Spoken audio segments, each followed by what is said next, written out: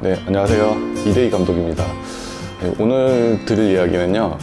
제가 음, 파닥파닥을 만들 때 사전조사를 너무 이렇게 강조하다 보니까 조금 오바를 해가지고 죽을 뻔 했던 건 아니고 죽는 줄 알았던 어떤 한 에피소드를 이야기해드릴까 합니다.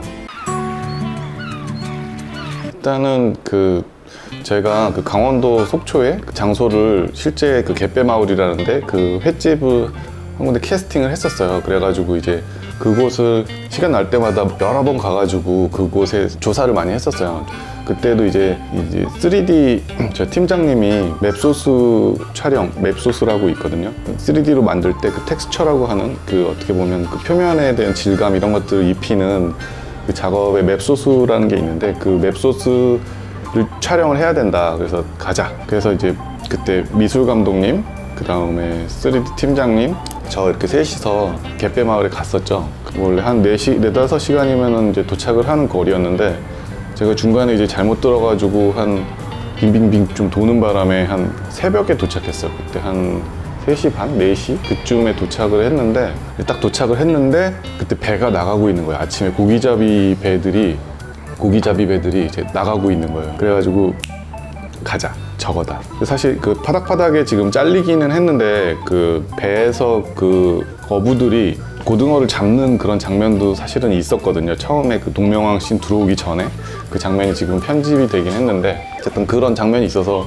실제로 물고기를 잡는 모습들을 촬영을 하고 그 자료들 그런 현장을 좀 봐야 되지 않을까 그게 이제 발동을 한 거죠 그 가시는 분들 그래서 그 선장님한테 이러저러 해서 제가 이런 한번 그 견학을 할 수 있겠냐 도와주세요. 뭐 이런 식으로 좀 사정을 했죠. 그랬더니 그러니까 되게 작은 배였었거든요. 그게 한 몇 미터 안 되는? 굉장히 작은 배였었는데 사장님이 선장님이 어, 그래 뭐 타봐. 그러더니 근데 저기서 이제 허락을 받고 와 그래서 약간 그 해양 경찰서 같은 그런 부분들이 있는데 거기 가가지고 그냥 이제 배를 민간인들은 못, 못 하고 그런 서류에 서명을 해야 되더라고요. 그- 그런 각서였어요. 이게 사고가 나도 본인이 책임을 진다 이런 부분들에 대한 어떤 각서를 받고 이제 구명조끼 딱 입고 두근두근 아 이렇게 이제 해서 어찌어찌해서 이제 배를 타게 됐어. 배가 이제 탁 타고 가는데 배가 그 저희는 이제 이 앞쪽에 있었죠. 그, 그 막 이제 배가 나가는데 막 흥분을 하니까 이제 기분이 좋아가지고 어막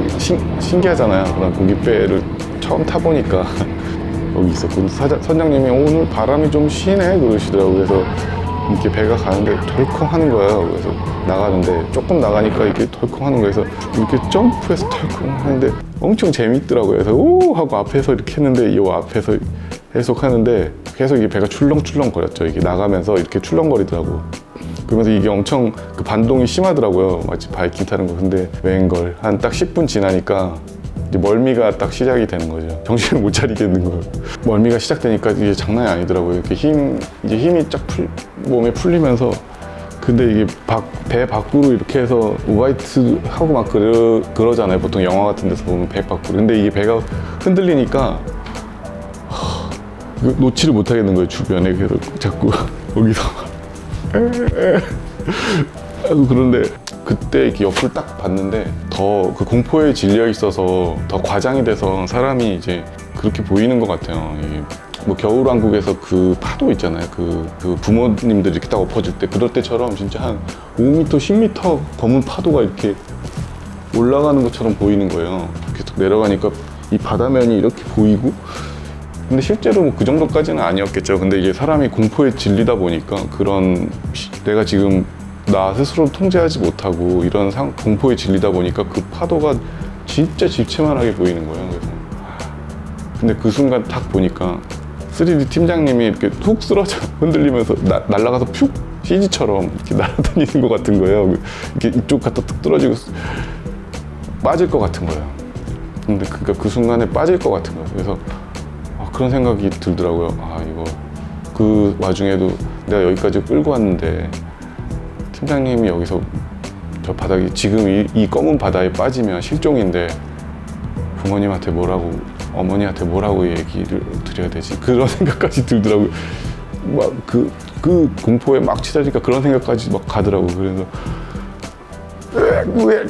으악, 하면서도 꼭 잡고 해서 선장님이 안 됐는지 와라. 그래서 이 뒤에 이 선실 쪽에다 가니까 흔들림이 조금 이렇게 이렇게 하는 게 덜해지더라고요. 그래서 배가 이렇게 계속 흔들리니까 이 뒤쪽은 좀 근데 그 멀미는 안 사라지는지 그래서 쓰러져가지고 거기 선실에 박혀가지고 에? 으? 저기 있는데 그거를 저 3D 팀장님이 지금 이 영상 보시면 다 찍어 놓으셨어요. 그, 그게 본인은 3D 게임을 많이 해가지고 멀미를 안 하신다고 그러더라고 나중에 얘기를 들었는데 그걸 다 뒤로 오니까 흔들림이 좀 적어지니까 그- 여기 이제 미술 감독님이고 이제 전데 이걸 다 찍어 놓으셨더라고 아.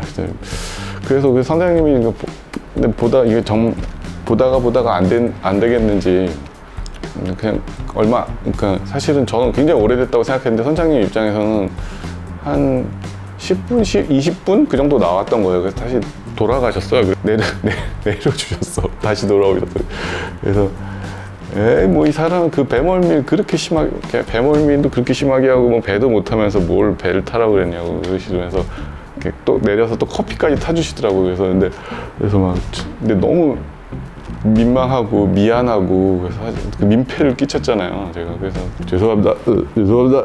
막 이러면서 막 계속 퍼져서 이러고 있다 보니까 조금 정신이 들더라고. 두 시간 정도 이렇게 퍼져 있다 보니까 아.